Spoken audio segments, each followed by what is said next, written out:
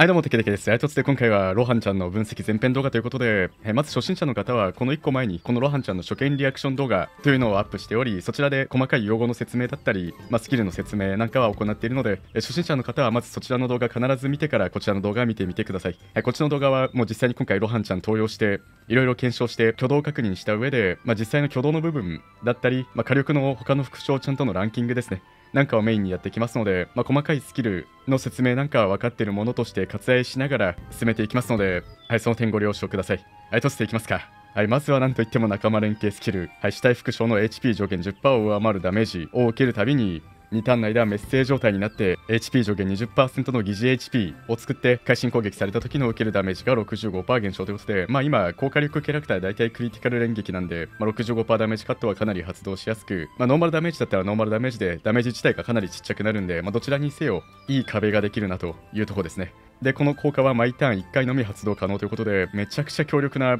刻み系ダメージカット機能が追加されたわけですがまあ1ターンに1回っていうのが唯一の救いですね。もうこれなかったらぶっ壊れてましたね。まあでもこれでも特にバリアが強い環境だとまずバリア壊してから残り数発のダメージのうち数発をこのメッセがカバーしてしまうんで、まあ、怠慢に近い環境になるほどこのメッセが厄介になりますね。で一応弓章に有効な HP15% アップと砲術防御力レベかけ150増加するやつがつきます。これ弓章で砲術防御力上がるのは初めてですね。はいまあ、なんで基本的には弓章につけるのが推奨となるとまあ、メッセキャラのトークン以外の弓章であれば、意外とトークンも邪魔にならないか。まあ、意外にトークンにつけてもこんな感じで、まあ、復活した後、トークン4ターンのメッセになりますが、そのメッセが壊れた後ダメージ受ければ、またすぐにこの4ターンのメッセが2ターンのメッセになるっていう感じで一旦に1回の2ターンメッセなんかは別に復活時のメッセとは別に発動してくれるんで、まあ、トークンにつけても全然いいですね。まあただこのキャラクターの場合結構普通にスキルの方でも弓章とシナジーあるんで、まあ、連携というよりは弓章いっぱい持ってるなら普通にデッキに入れたいキャラクターですね。ちょっと見ていきますか。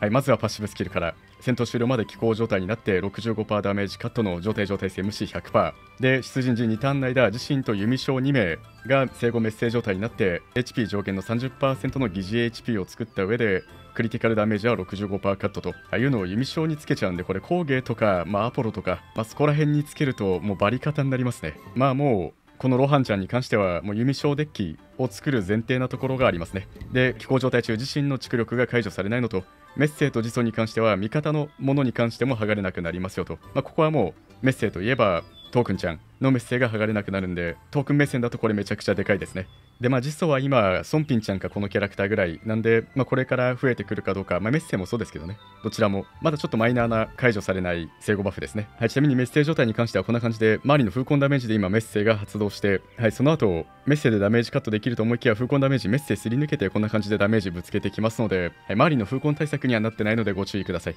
はいそして刻み系発動スキルとして自身 HP 上限の10%を上回るダメージを受けるたびに2ターン内で自身が生後メッセージ状態になって HP 上限10%の疑似 HP 開幕の時よりはちょっと弱いですが、まあ、敵から攻撃を受けるたびに疑似 HP を作って同じく会心ダメージカットは65%でこの効果は毎ターン2回まで発動可能と。まあ毎ターン無限に発動できるわけではないので限りはありますが、まあ、クリティカルが飛んできた時なんかは65%ダメージカット機能なんでもともとの機構の65%カットと合わせるとこれだけで87%ダメージカット機能になりますね。メッセージ状態中は、まあ、ただメッセはすぐ壊れてしまうので、まあ、そこまで当てにしない方がいいと思います。で自身が致命傷を受けた時致命ダメージを3回無視することができて80%の HP 回復と異常状態を全て解除で4ターンの間生後残影状態になって回避率60%増加の受けるダメージ40%カット。避けまくれば最大70%までダメージカット強くなりますね、まあ、70%までダメージカットした上でメッセーがついて気候によるダメージ65%カットがつけば合計で96%のダメージカット機能になりますね。はい、もうそこまでいけばめちゃくちゃ硬いですが、まあ、残念ながら残影剥がれちゃうんですよね。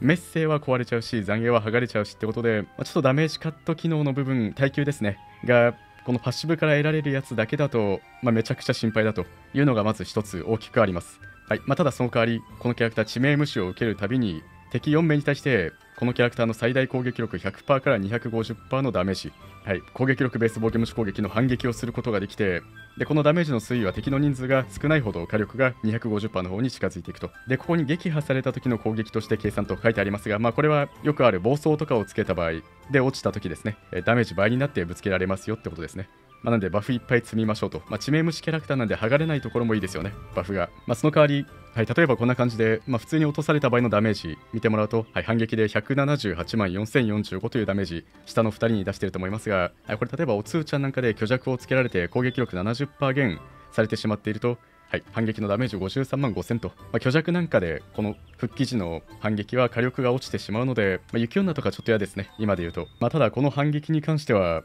この100%から250%だけだと、まあ、この前の大竹丸と同じぐらいなんですが、このキャラクターの場合、臨床値が敵より高い場合、必ず会心攻撃が発生と、クリティカル補助があって、このクリティカルももちろん乗るんで、ここからまあ大体2.65倍ぐらいされた上で、しかもこのキャラクタースキル1で蓄力になって、その蓄力剥がれないんで、この反撃時も蓄力最低でも乗るんですよね。攻撃力倍になる、まあ、なんでこれここにこう書いてありますが実際には200%から500%がもう必ず出るというキャラクターになってるんでめちゃくちゃ強いですねこの反撃、まあ、ただしさっき見たように虚弱なんかで火力下げられちゃったりするし、まあ、生後援護なんかが敵に残っていればそれによってもダメージカットされてしまうので、まあ、それもあってこのキャラクターこの反撃前100%の確率で緑バフや成功バフを2つ解除することができる機能があって、まあ、1枚ぐらいの生後援護とかだったらこれでうまく剥がしにいけると、まあ、抜け目ないですね。これ特に怠慢とかだと結構バカにならなくて250%で、まあ、蓄力で常に倍化してるんで500%ですよね。そこに2.65倍ぐらい乗っかると1325%の反撃が最大3回飛んでくんで4000%近い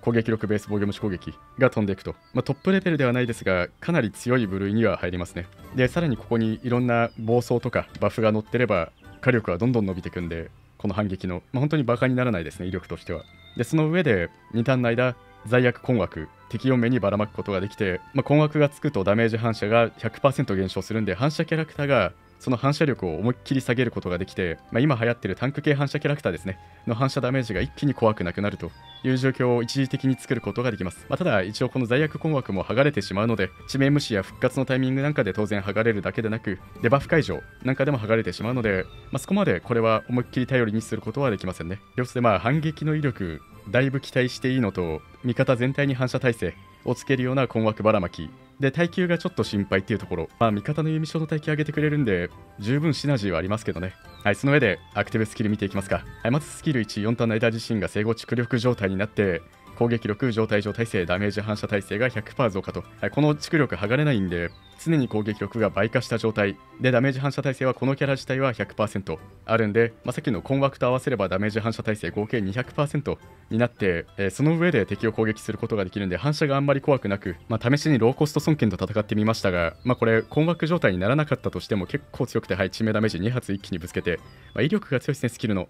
はい。1回もこちら落ちない状態で孫権にどんどん致命ダメージぶつけていって反射ダメージで落ちずに孫権倒しちゃいました。まあローコスト孫権ぐらいであれば全然怖くないですね。はい。ロハンちゃんが残影状態になってないことから1回も致命ダメージまで反射ダメージが届いてないことがわかると思います。はい。てかまあロハンちゃんの火力の威力が高すぎて反射ダメージが来てないだけなんですけどねこれは。まあここちょっとダメージぶつけてはい、550万のダメージ孫権にぶつけてますが、バリアで受け止めてますもんね。バリアで83万ぐらいですかね、ダメージ。はい、わずかそれぐらいしか削れてませんもんね。まあ、バリアすら壊れていないという感じで殴っていって、はい、で最後2390万の HP がある孫権に対して落とす一撃をぶつけた時も、え魯班ちゃんに返ってきた反射ダメージは1000万ぐらいという感じで、はい、魯班ちゃん耐え切ってますもんね、反射ダメージ。いや、素晴らしい。まあ、本格的にタンク系反射キャラクターですね。特にローコスト運用のやつだったら落としに来てるなという感じはします。ちょっと毛角とか硬すぎて、また後で対マン戦の映像なんかも流しますが、攻めきれませんでしたが、はい、そんな生後蓄力をつけた状態でスキルが始まり、まあ、スキル1の方は敵6名に対する2回攻撃、範囲2回攻撃ですね。毎回800%から1600%の物理ダメージと、臨床値 ×16 倍から32倍、最大攻撃力100%から200%の防御無視攻撃と。で、この火力の推移に関しては、場内の敵の数が少ないほどダメージが上の方に触れていくというものになっており、ここの数字の3つの並びですね。に関しては実はあの高火力な雪女と全く同じ数字の設定になってます。まあ、ただロハンちゃんの場合はそれに蓄力がついてダメージ倍化されるんででしかもこの後説明しますが罪悪箱もばらまくんで雪女に蓄力と罪悪箱がついたような範囲攻撃ですね。をすることができるっていう風に考えたら、まあ、恐ろしさはなんとなくわかるかなと思います。でさらに毎回的に臨床値で勝っている場合100%の確率で2ターン罪悪箱をつけることができますと、はい、箱ばらまきですね。これちゃんと状態状態性100%無視で箱をばらまけるんでまあめちゃくちゃ決まります。はいで全ての攻撃後自身と残り HP パーセンテージが最も低い味方の弓将2名に異常状態を2つ解除、はい、さらに自分も含めた弓将2名に対して解除後2ターンの間自走をつけることで、まあ、ダメージ完全カット機能ですねプラスすでに HP100% 回復して回復し終わった後別の HP が低いキャラクターに実装を移動させるという処理を行います。これ言ってみたら自分も含めて味方2名なんで3名に対して実装2ターンつけるんででしかも剥がれない実装なんで敵のどんな攻撃でも6発分は耐えるような機能ですね。がパーティーにばらまかれる形になるんで思った以上にこれの効果でロハンちゃん硬くなりますね。まあちょっと怠慢戦なんかも何発か見ましたがなんか落ちないなと思ったらあ実装でカットしてるのかというようなことが結構あったりしました。相手味方6名を4ターン浅突き状態にしてやんわり知力値ベース防御無視攻撃防止に味方全体を強くすると。であと花言葉は味方全体にばらまいて味方全体を2回分デバフにかからなくしてあげると、まあ、サポート機能がかなり充実してますね、まあ、ただちょっと弓章に偏ったサポートの仕方なんで、まあ、本当にいい機能なんですが弓章デッキじゃないと効果が半減してしまうというところはあります、まあ、ここだけですねネックなのは。アクティブスキルにおいて。このスキル1は。はい、でスキル2の方は HP パーセンテージが最も高い敵に対する破壊攻撃。毎回740%の物理ダメージと臨床16倍攻撃50%の防御無視攻撃を飛ばせますよと。あような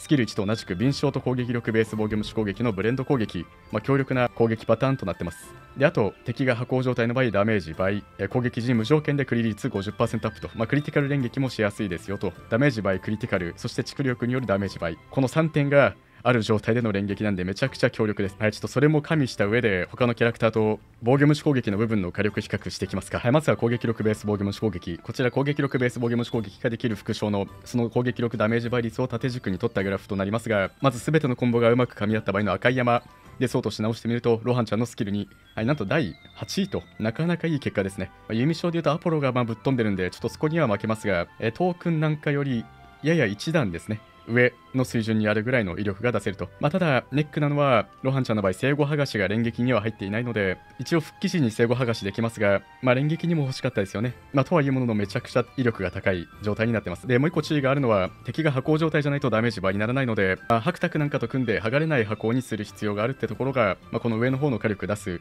分には重要だし、まあ、復活キャラクター相手には、復活後、敵の箱を剥がれてしまうので威力が落ちるという傾向もあります。で、スキル1の方はまあ敵短期に対してはこの1と、まあ、あんまり高くはないですね。範囲攻撃なんで。はい、下見ていくとこんな感じと。で、平常運転の範囲内である程度コンボが噛み合った場合の黄色い山で見てみても結構上の方にいますね、スキルに。はい、アポロにはまだ負けてますね。アポロがぶっ飛んでますね、相変わらず。同じ箱キャラクターとしては厳しいですよね、立ち位置。平常運転の範囲内であまりコンボが噛み合わなかった場合の緑の山で見ていって、ちょっと下の方降りてきますね。スキル2がこの位置、スキル1がこの位置と。まあ、クリティカルもあんまり出ず、箱がなかったからダメージ倍にもならなかった場合、ここまで落ちます。すべてのコンボがうまく噛み合わなかった場合の青い山でそうとすると、スキル1が逆転して、スキル2は下に落ちてここという感じですか？まあ、アポロなんかも結構落ちてるんですけどね、ここら辺になると。はい、ということで、まあ、強いですね、火力は。条件付きとはいうものの。はい、で、先ほど見たのが敵短期に対する攻撃力ベース防御無視攻撃ですが、こちら敵範囲に対する攻撃力ベース防御無視攻撃。はい、になるとスキル1が挽回してきますね。まあ、ただスキル2がやっぱり強いですね、赤い山で見て。はい、黄色い山でそうとするとスキル1がどんどん伸びてきますね。雪女と同じぐらい出てますね。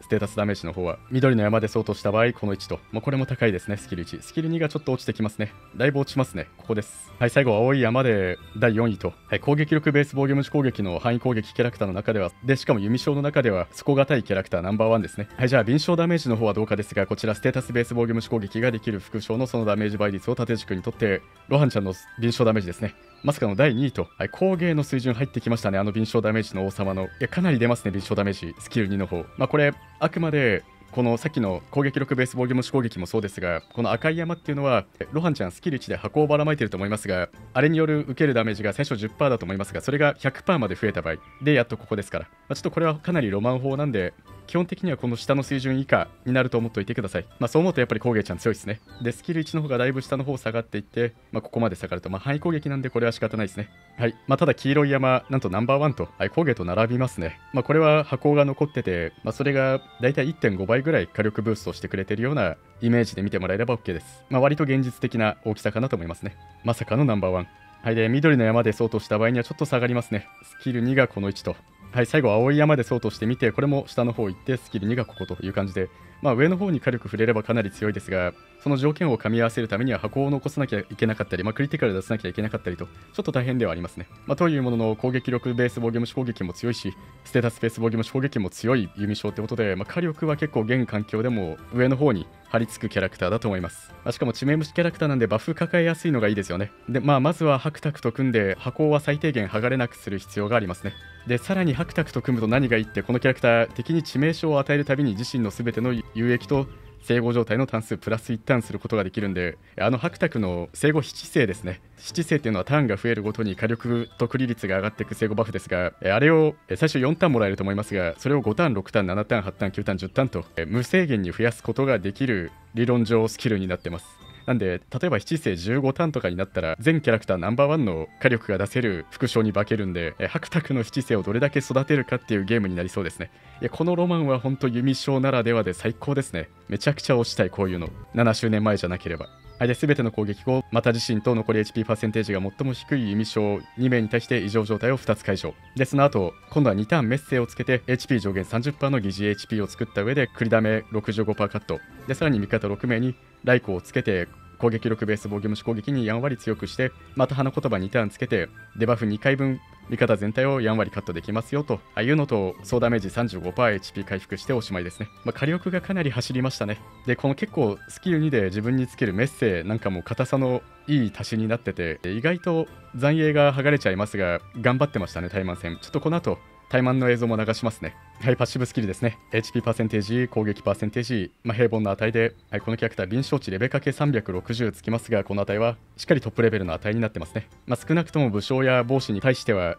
臨床勝ちして箱をばらまけそうかなと思います。で、体力レベかけ300、この値は、はい、上から見ていって、順位としては第27位と、はい、まずまずですね。で防御貫通に関しても固定値の物理防御貫通900と、えー、普通の防御貫通レベルかけ12がつくと、まあ、ちょっと箱キャラクターなんで防御貫通じゃなくて物理防御貫通上げたかったですね。はい、で回避レベルかけ380この値は、上から見ていってこの人まあちょっと低めですね。まあ、ただ上のキャラクターたちがそこまで回避回避してるようなキャラクターたちじゃないんで実質ナンバーワンと言ってもいいぐらいでしょうか。はい。であと真髄共鳴スキルに関しては知力と攻撃力ベース防御無視攻撃に対して敏捷値でやんわりカットしていくタイプのよくあるやつですね。はい。としてロハンちゃんいかがだったでしょうか。いや弓章らしく火力ロマンのある攻撃パターンですね。うまくいかなかった場合火力が細っちゃいますが、まあ、でも最低限でも致命虫キャラクターなんでバフは積みやすいし、まあ、蓄力は剥がれないんで100%火力アップは常についてるんで基本威力高いですね、このキャラクター。で、まあやっぱりハクタクと組ませたいですね。もうハクタクと組ませた時のロマンがたまらないです。